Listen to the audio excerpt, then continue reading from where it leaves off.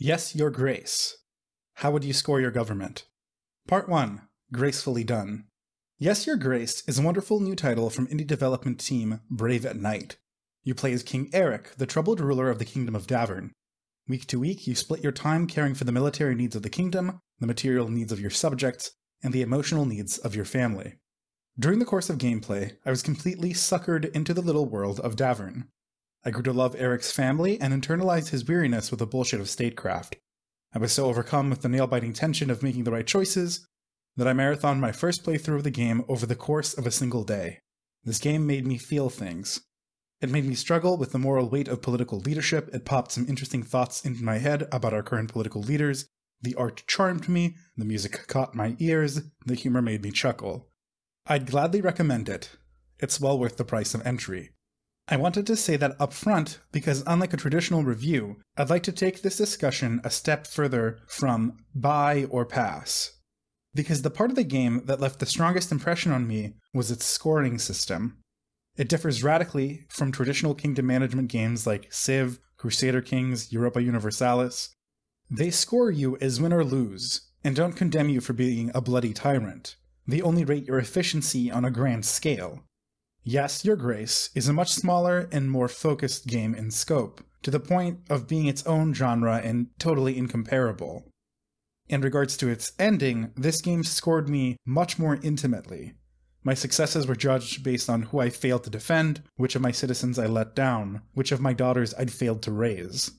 I was graded on a curve of human suffering. That scoring system left a much more profound impact on me than I expected and invited me to think about how I'd score my contemporary government. That's one of the most unique experiences I've had with a fantasy video game, so I wanted to chat about it. Part 2 Don't be a spoil sport.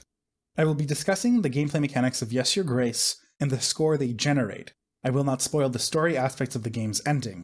I will not tell you who survives, what falls apart, who falls in love, how to play, or where the hidden immunity idol is located. There are, give or take technicalities, eight axes that you can land a bad, neutral, or good ending for. I won't even divulge what these axes are for spoilers' sake. Side note, I did have to look up the plural for the word axis, and I was indeed surprised that axes is grammatically correct. English is silly. At the end of the game, you receive a slideshow epilogue that ties your actions and policies in equal parts to the stability of your kingdom and the emotional health of the people that surround you. I appreciated that the game didn't just ask if you kept your kingdom in order, it stated how your citizens, refugees, political enemies, and family feel about your rule. Part 3 Initial Confusions. On my first run of the game, I managed five good ending slides, two neutral slides, one bad slide. And I thought, damn, that was tight, but I did great. And mistakenly, I had thought that this was about as good of an ending one could conceivably achieve in the game. A lot of the choices you make during gameplay revolve around the distribution of limited resources, and I had spent every last dime and sack of grain. I hadn't hoarded. When I said no to peasants, soldiers, dukes, or relatives, it was because I had nothing left to give. This was a game about sacrifice with no clear solutions. I think that, at least partially, the game's marketing mistakenly led me to this narrative. Here's a few quotes from the game's storefront. In this kingdom management RPG, petitioners will arrive in the throne room each turn to ask for your advice and assistance, decide whether to help them with their problems or to conserve resources for more important matters. Remember, supplies are limited, and not everyone has the kingdom's best interests at heart. These are troubling times, Your Grace. The petitioner's petty matters exceed our limited resources, to say nothing of the war. A careful balance must be struck. Your throne awaits. Villagers will ask for your help with various problems, from monsters attacking the village to a lack of place to relax and enjoy themselves. Some will bring humor to your throne room, and some will present you with difficult choices. Your family is important too, and throughout your time as king, you will have to support them in their struggles. You will face lords with a variety of personalities. You will need their support in order to win an upcoming battle, but some may ask you to perform dirty deeds to cement alliances. One thing is clear it won't be easy to keep everyone happy. I had taken this to mean that at no point in the game could you achieve a perfect ending, with 8 out of 8 slides being in the firm positive. I assume the game's core mechanics revolved around making moral choices. Who is more important, my wife who I love, or the citizens whom I tax? What's more vital, appeasing the lords who empower me or empowering my daughters to make their own choices? So on, so forth. The moment to moment gameplay also led to this misunderstanding. Some of the conflicts you resolve really do revolve around moral judgments. For example, I had the option to facilitate and participate in the sale of narcotics. Different characters even warned me on the negatives and positives of doing so. As a person outside the game, I'm a strong believer in decriminalization. The war on drugs is probably the easiest thing I can point to as an example of catastrophic failure in government policy. So I made what I thought was the moral choice. I financed my war effort by allowing drugs into my kingdom. And there were consequences for doing so. Much like in real life, Yes Your Grace portrayed addiction as the result of drugs being available. Some of my citizens paid the price for my moral stance on the issue. Now, in real life, I support decriminalization acting in conjunction with the availability of modern medicine. In the 21st century, we could also encourage and finance scientists, sociologists, doctors, and policy experts to assist with battling addiction. As medieval King Eryk, unfortunately, I didn't have the tools to react to an addiction pandemic. And this was simply a low level early game decision. There were far tougher ones. The threat of impending war brought up one of the toughest choices I've made in video games myself. By marrying my daughters to powerful nobles, I could secure military alliances that would more than triple the size of my defending forces. I wasn't doing this to expand or colonize or invade, this was the matter of saving the lives of my citizens from incoming invasion. Part 4 Paying the Price. In my previous video essay about Fire Emblem, I made my feelings on nobility, the privileges of aristocracy, and the institution of peerage pretty clear. I hate him with a passion. I don't like how often fantasy protagonists come from royal blood to start with, or, surprise twist, were secretly the long lost prince all along. I like stories about people who choose to do the right thing, not stories about people who do the right thing because an accident of birth decided their fate beforehand. My obnoxious hardline stance in tow, I approached the game with the following philosophy King Eryk's wife and daughters would be my last priority. I wouldn't be a nepotistic shit and prioritize the safety and happiness of my children over the many children whose lives I held in my royal hands. My daughters were lucky enough to grow up filthy rich. I wouldn't give them an inch more. Short of allowing Sadani to keep her pets, which cost me no resources, I ignored their needs. And I'll admit, this was difficult. I got to enjoy the company of the queen and the princesses. They're well written, lovely characters, less dazzling than the royals of GOT's season 1 through 4, but way better than the dumpster fire of how those same characters were written in seasons 5 through 8. Yes, Your Grace's characters are solidly written, especially given the tight amount of lines allotted to each. So I felt pretty bad about consistently marrying my daughters to secure military alliances. But damn me, they'd still be living in the lap of luxury as queens abroad, right? Right. Ah, gosh. How do I justify that? Is ensuring the safety of thousands worth treating my children like cattle, especially in such a blatantly sexist manner? These were characters I'd grown close to, and this was marriage in the transactional, misogynist, oppressive, and harrowing medieval sense. I was selling their freedom, their future, their reproductive autonomy. This was a grossly immoral thing to do. But on that first playthrough, I didn't regret the choice. I had thousands of lives to save. Citizens first, refugees second, soldiers fourth, lords fifth, family last. That's how I got the 5 2 1. And I felt proud. I had made sacrifices to do right by the people who trusted me to govern, and I'd done it in an impartial way. I had navigated the moral landscape with ethics in mind. This was the balance I'd struck. What a hell of a game, making me feel dirty and proud, sinful and justified. Having loved the game, I decided to play a second campaign and see if I could eke out a better score than 5 good, 2 neutral, 1 bad. I was curious if foresight and prior knowledge could bump me up to a score like 5 3 2 or 6 0 2, maybe 6 2 0 if I really knocked it out of the park. But I was always convinced that part of the game would include choosing to deliberately let someone down. I was curious about different balancing of the scale. I started my second playthrough, and unfortunately, that was a bit of a disaster. Part 5 Second Time's the Charm. On a second playthrough, I slowly realized that giving my family what they wanted could still be achieved while balancing my ledgers. With the power of foresight and previous knowledge, I knew not to dump resources into specific bad faith petitioners. Liars, thieves, and riffraff bards got tossed right out of my court. And on paying closer attention the second time around, the game even went as far as to provide clues as to who was lying and not worth the effort. If I'd been more attentive, I maybe, maybe could have sussed out the optimal choices my first go. With the liars and cheats going empty handed, I found out I had the resources to resolve all crises, so I doted on my wife and children, managed to make selfish decisions on their behalf, while still ruling the kingdom like an A plus tyrant with a heart of gold. That's the biggest spoiler I'll give you. With some spare room for minor error, you could do what I did. You could land a perfect 8 0 0. Part 6 The Misery of Doing Everything Right. And in doing that, I'd invalidated the struggle of my first playthrough. There's no meaningful sacrifice or balance to be struck in Yes, Your Grace. You can have your cake and eat it too. There is a correct set of decisions to make, meaning everything that really resonated with me about the scoring system turned sour. This game had gotten me to consider moral dilemmas and then pulled a rug out from underneath me. To be a proper moral dilemma, the problem at hand needs to have no perfect solution. In each case, the decision maker should have moral reasons to do each of two actions, when doing both actions at the same time is impossible.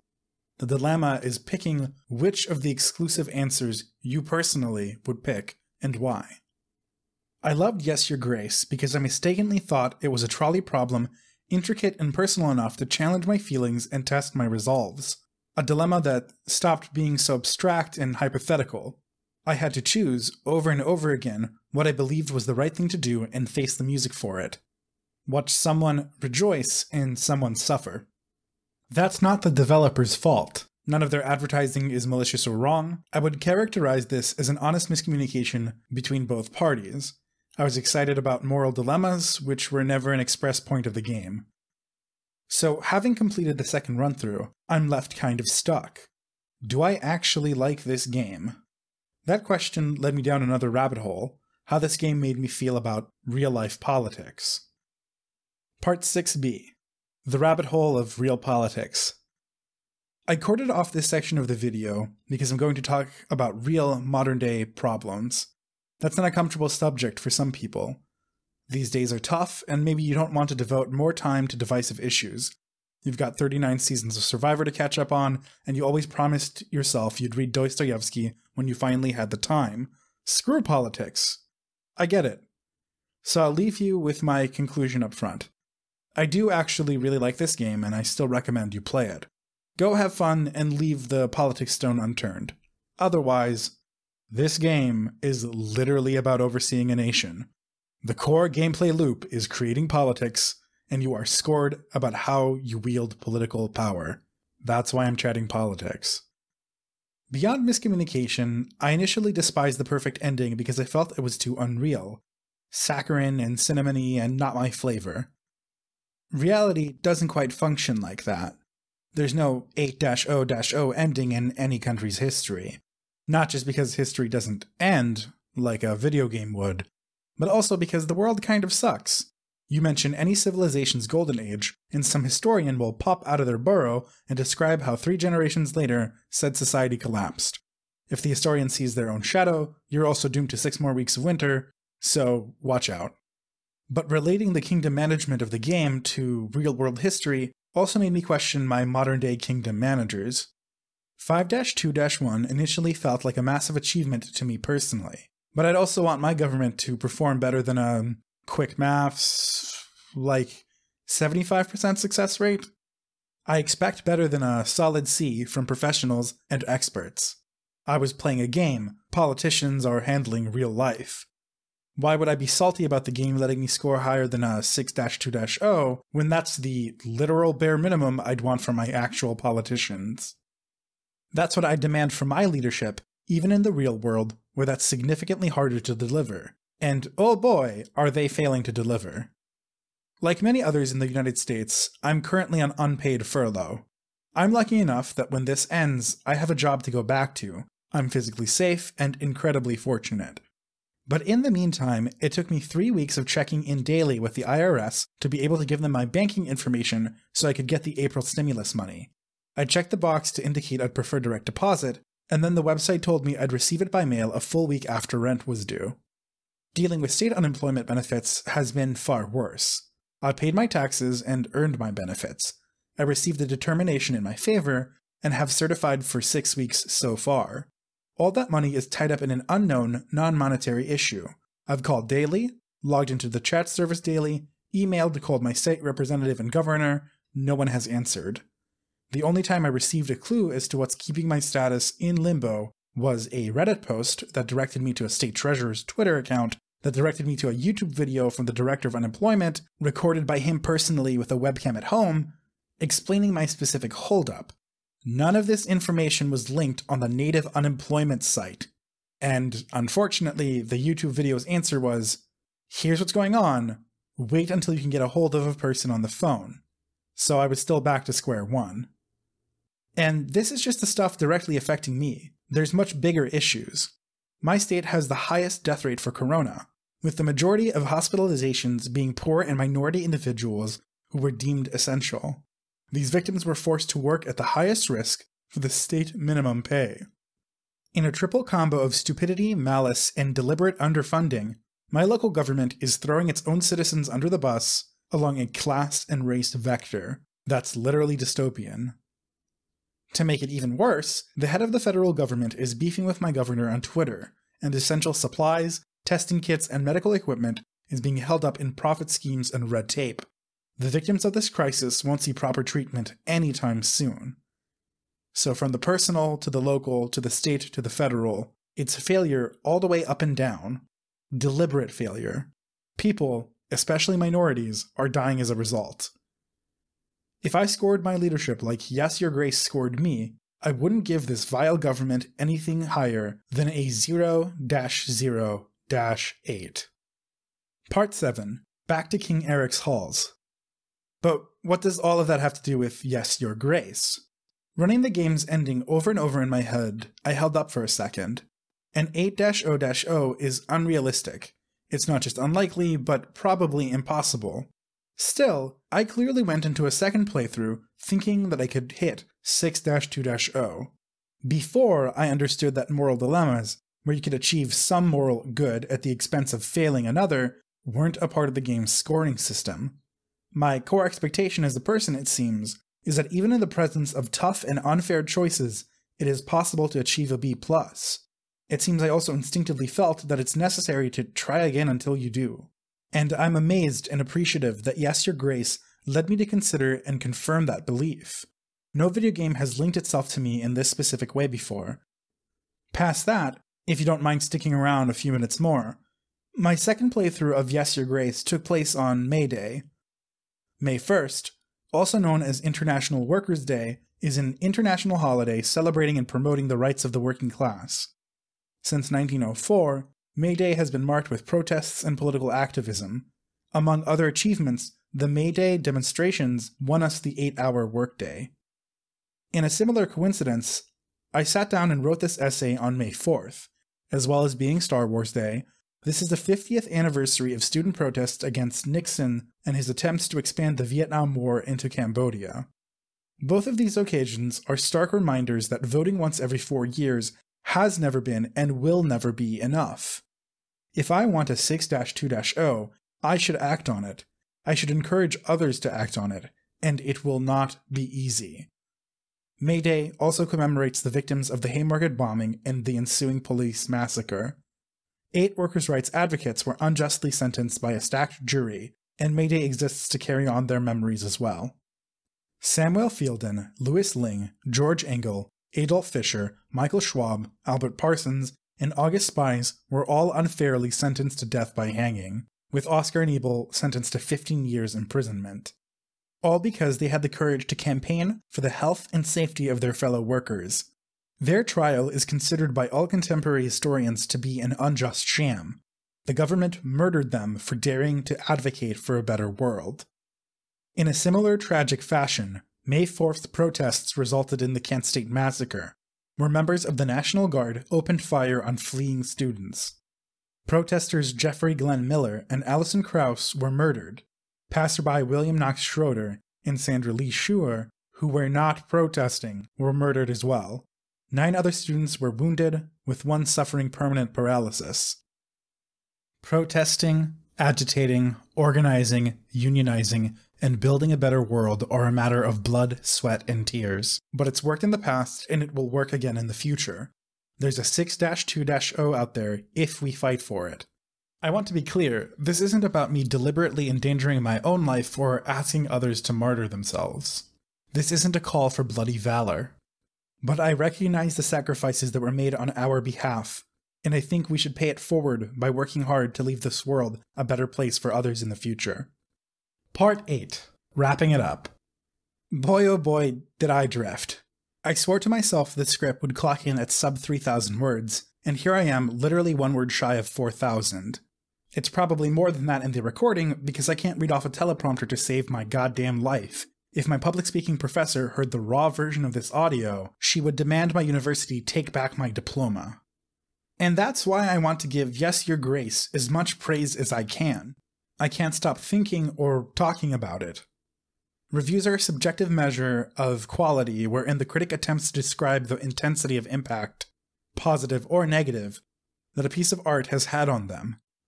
Obviously, my subjective experience of this game was deeply colored by the surrounding circumstances of the week and a half I spent with it. I'm not confident it's fair of me to tie the game so closely to personal and historical circumstances that are so far out of the developer's controls or intended play experience. But I'm choosing to do so, because that's generally how other critics measure mediums like film, literature, poetry, painting. No one would discuss American Gothic strictly on the merits of brushstrokes ignoring its historic and cultural influences. We talk about it because of how well it encapsulates 20th century Americana and how many times it's been referenced or parodied. Art lives or dies by context. As my parents would tell you, I play too many video games. This is not my first rodeo, but this is the first time a video game, as a piece of art, has tied itself to my life in such a unique way. By scoring my statescraft through the measurement of human suffering, this game made me reflect in a way Civ, Crusader Kings, and Age of Empires never has. Yes, Your Grace managed to feel much more personal, much more distressing, somehow much more hopeful too. And maybe, just maybe, I have to admit that the perfect ending does put a smile on my face, especially because I don't personally hope to ever experience an 8 0 0 in real life. That sequence of epilogues is like eating a cinnamon roll. Broccoli is far better for me, but damn if I'm not going to disobey doctor's orders once in a blue moon. I'll be sneaking off to make a midnight snack of Yes Your Grace 2 the moment Brave at Night releases it. Even if I would have tweaked the recipe for personal taste, this dev team knows how to bake something special. Thank you for listening. If you've enjoyed this video, please like, share, comment, and subscribe. I've got scripts in the making for Robin Hood, D&D, The Trader Borrow Cormorant, so there's plenty more coming up soon, on top of previously published essays on Fire Emblem Three Houses and The Witcher books for you to check out straight away. I also write and produce my own fantasy audio novellas, if that's your kind of thing. Part 9. Good God, are we finally wrapped up? Like a burrito ready for takeout, we are. See you next time.